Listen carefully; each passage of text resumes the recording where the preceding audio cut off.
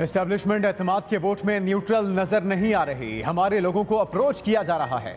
अब तक हमारे तीन अरकान इस हवाले से बता चुके।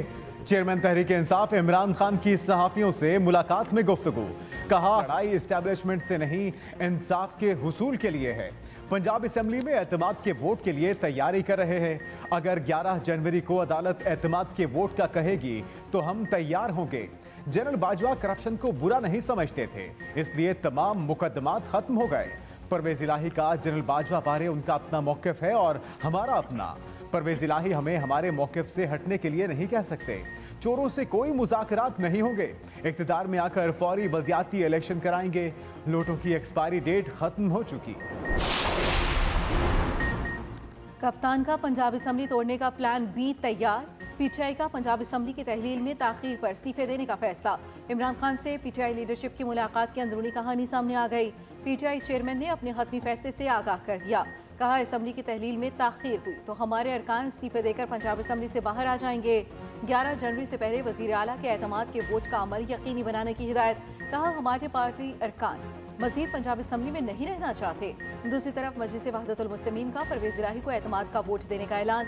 मजलिस वहदतुलमसलमिन के रहनुमाओं की इमरान खान से मुलाकात वफद ने एतमाद का वोट देने की यकीन दहानी करा दी।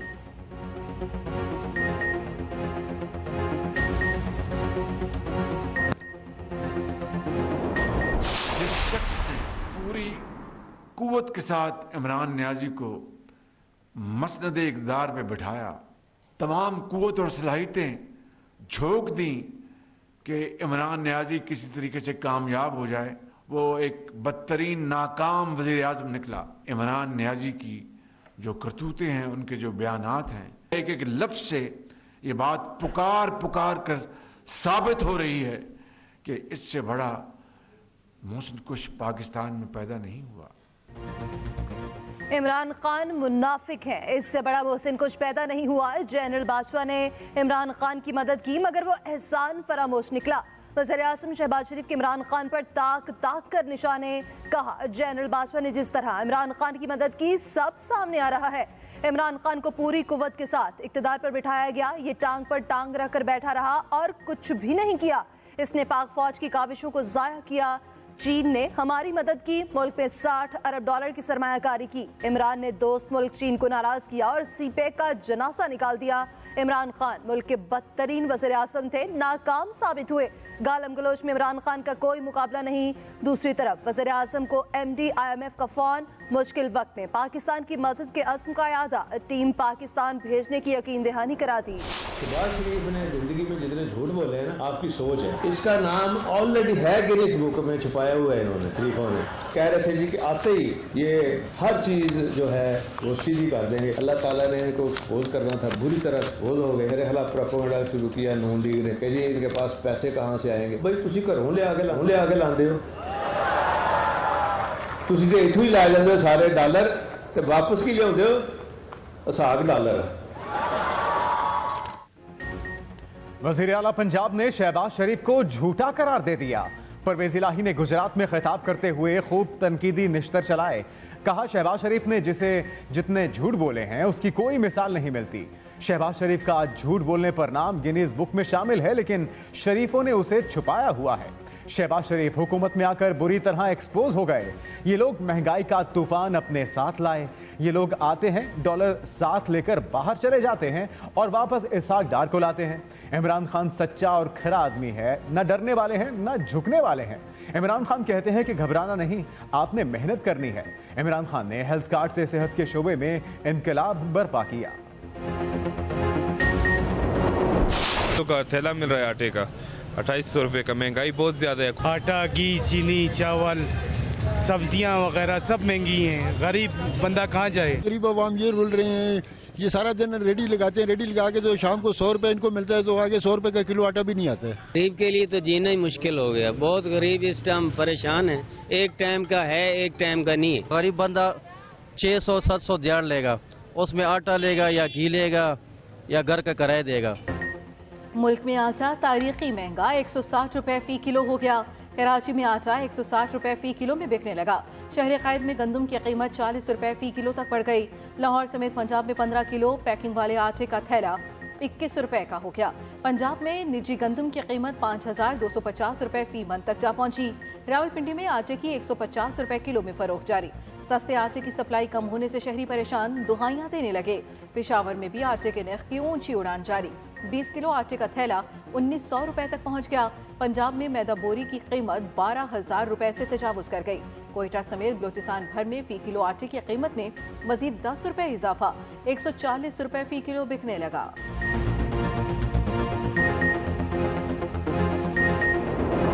एक सौ चालीस रुपये आटा चल रहा है, पाँच सौ, साढ़े पाँच सौ घी चलाया हुआ है। गरीब आवाम हज़ार आठ सौ रुपये कमाने वाला कहाँ से पूरा करे? मुझे तो ऐसा लग रहा है कि ये मटन के बराबर पहुँच जाएगा। मुर्गी महँगी हो चुकी है इसका इसका बाइकाट कर दें। और बाइकाट करने का मतलब ये कि हम इसको खाएँगे नहीं तो ये खुद ब खुद सस्ती हो जाएगी। ब्रायलर मुर्गी की बीफ को टक्कर मुर्गी की गोश्त की ऊँची से ऊँची उड़ान जारी। कराची में ब्रायलर मुर्गी की गोश्त की फ़ी किलो छह सौ पचास रुपए में फरोख लाहौर में मुर्गी की गोश्त की कीमत छह सौ बीस रुपए फ़ी किलो तक जा पहुँची। इस्लामाबाद रावलपिंडी और कोयटा में भी मुर्गी के गोश्त के नखरे छह सौ रुपए किलो में बिकने लगा।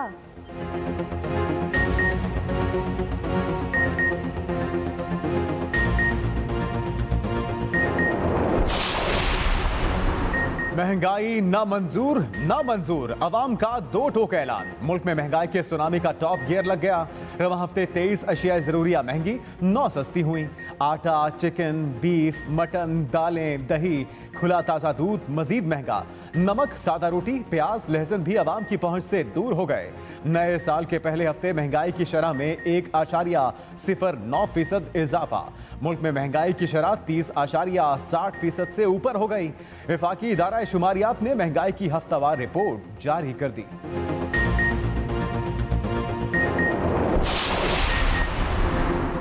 इमरान खान कातलाना हमला केस, पंजाब का विफाक की तहकीकात में अदम ताउन पर जुडिशल कमीशन का मुतालबा सीनियर सूबाई वज़ीर असलम इकबाल ने कहा, इमरान खान पर हमले की तहकीकात में विफाकी इदारे ताउन नहीं कर रहे।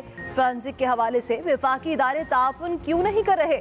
जे आई टी को चीज़ें फराहम नहीं की जा रही। सूबाई वज़ीर कानून, राजा बिशारत ने कहा कि साजिश के तहत इमरान खान पर हमला किया गया।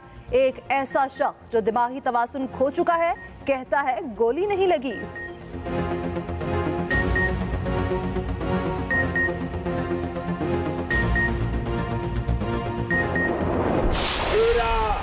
पार्टियाँ और उनके हमनवा एक तरफ़ है। इमरान खान से ये इलेक्शन नहीं लड़ना चाहते। अब इनकी साजिश है। इमरान खान को स्लो पॉइजनिंग के ज़रिए खत्म किया जाए। इमरान खान को जहर दिया जाए। वो जमान पार्क में ही बैठा तमाम तुम्हारा काम रोज कर देता है। शेख रशीद का इमरान खान को जहर दिए जाने का इंकशाफ, अवामी मुस्लिम लीग के सरबराह ने महँगाई मार्च से खिताब में कहा, इमरान खान को स्लो पॉइजन देकर मारने की कोशिश की जा रही है। नवाज़ शरीफ, खानदान नासिफ जरदारी नाकाम हो चुके। काबुल वाले भी कह रहे हैं कि ये टिकटॉकर कहाँ से आ गए? इनकी शक्ल टीवी पर आती है तो लोग चैनल बदल देते हैं। चौदह जमातों की सियासत खत्म हो गई, अब इन करप्ट असेंबलियों में इमरान खान नहीं बैठेगा।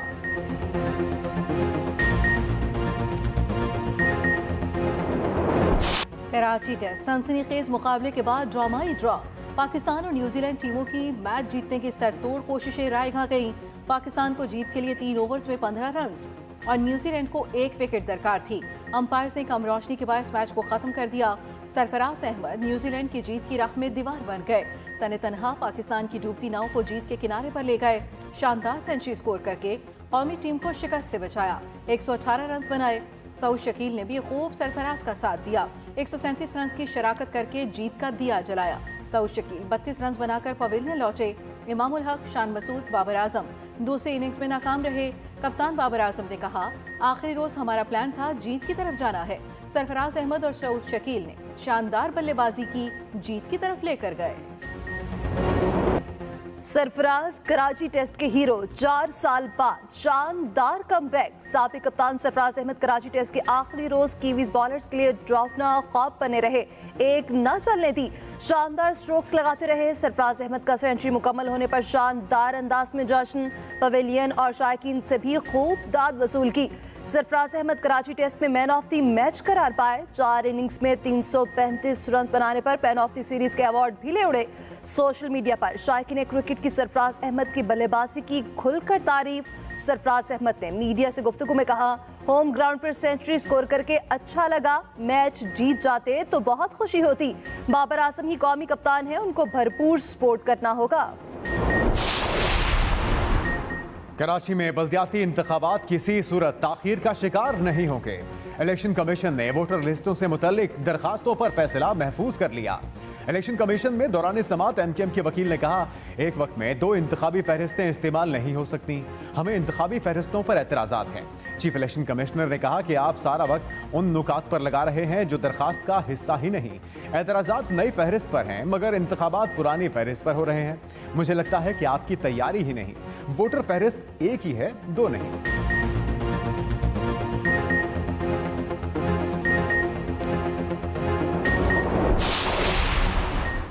पीपल्स पार्टी का कराची में पावर शो।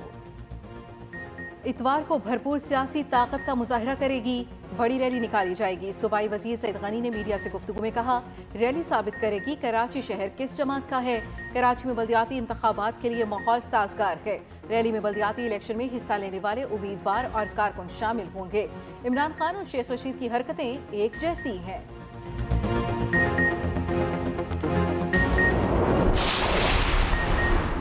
गवर्नर सिंध के एम के एम हकीकी के सरबराह फाक अहमद से मुलाकात। कामरान टेसोरी ने मीडिया से गुफ्तु में कहा, सबको मिलाने की जदोजहद कर रहा हूँ।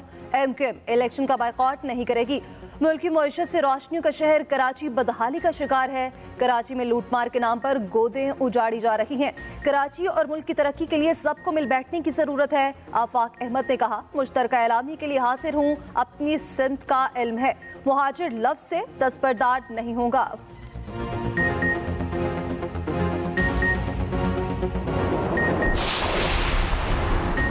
कौम का सोनी धरती पर जान निशावर करने वालों को सलाम। वज़ीर आज़म की लाहौर में हसास इदारे के शहीद डायरेक्टर नवीद सादिक के घर जाकर ताजियत। वज़ीर आज़म शहबाज शरीफ ने कहा कि नवीद सादिक एक बहादुर और फ़र्ज़ शनास अफसर थे।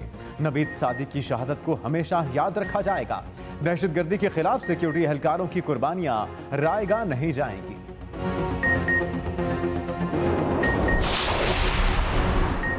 कराची में डाकू जल्लाद बन गए। एक के बाद एक शहरी कत्ल। गुलिस्तान जौहर में डाकू ने खातून को गोलियाँ मारकर मौत की नींद सुला दिया। खातून भाई के साथ मेडिकल स्टोर पर दवाई लेने आई थी। कार में बैठी खातून से मुलजिमों की लूटमार, मुजाफर पर गर्दन में गोलियाँ मार दी। थाना शाहरा फैसल भाई की मुदैयत में दर्ज कर लिया गया।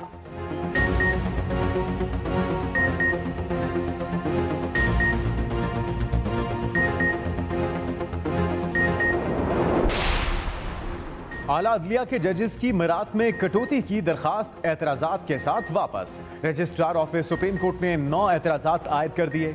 एतराज़ात में कहा गया कि आर्टिकल 248 के तहत सदर मुमलिकत को दरखास्त में फरीक नहीं बनाया जा सकता।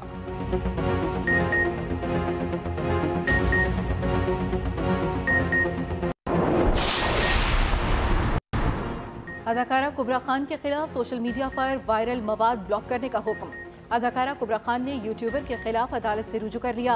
अदालत के आइंदा समात पर पीटीए और एफआईए को मवाद ब्लॉक करके जवाब जमा कराने की हिदायत। कुबरा खान ने कहा, यूट्यूबर ने मन घड़त इल्ज़ाम से मेरे और दीगर अदाकाराओं के वक़ार को मजरूर किया।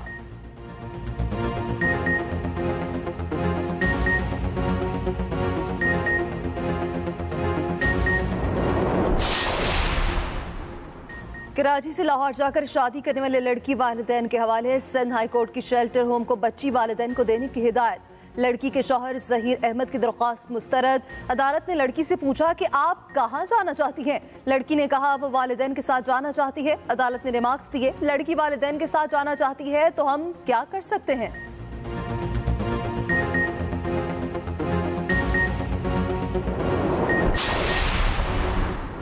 सिंध काबीना ने पासको से तीन लाख टन गंदम खरीदने की मंजूरी दे दी। फरवरी से गंदम की खरीदारी की तैयारी शुरू करें। वज़ीर सिंध मुराद अली शाह के महकमे खुराक को हिदायत। कहा, सिंध के लिए तीन लाख टन गंदम की खरीदारी का जखीरा नई फ़सल की बवाई तक मौजूद होगा।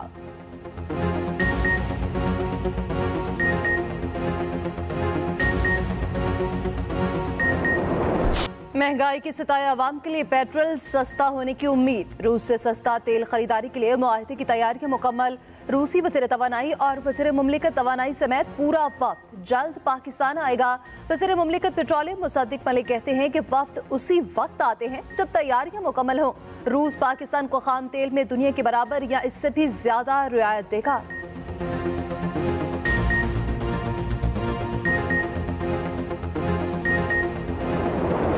मुल्क में खून जमा देने वाली सर्दी की लहर, कड़ाके निकाल दिए। पहाड़ों पर बर्फबारी से मौसम मजीद सर्द हो गया। मैदानी इलाकों में सर्द हवाओं का राज। कई शहरों में दर्जा हरारत, नुकता इंजमात से गिर गया। सकरदू में मनफी चौदह, दीर मनफी चार, अस्तूर मनफी दस, कल्लात मनफी सात, कोयटा में पारा मनफी दो रिकॉर्ड किया गया। मरी मनफी एक, इस्लामाबाद में सिफर, लाहौर चार, पिशावर दो और कराची में दर्जा हरारत ग्यारह रिकॉर्ड हुआ। उधर पंजाब में रास्ते धुंध में गुम। केपी में धुंध ने हर शय को धुंधला दिया। हद निगाह कम होने से मोटरवेज को बंद करना पड़ा। मुसाफिरों को मुश्किल का सामना। एयरपोर्ट पर परवाजों का शेड्यूल भी मुतासर। सर्दी का मजीद सर्द होने का प्लान। बादलों की भी फुल तैयारी। बादल बरसाने वाला एक और सिस्टम आज मुल्क में दाखिल होगा।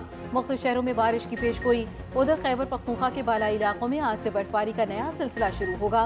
बारिशों और बर्फबारी का सिलसिला पीर के रोज तक वक्फे वक्फे से जारी रहने का इम्कान। बारिशों से मैदानी इलाकों में धुंध की शिद्दत में कमी होगी।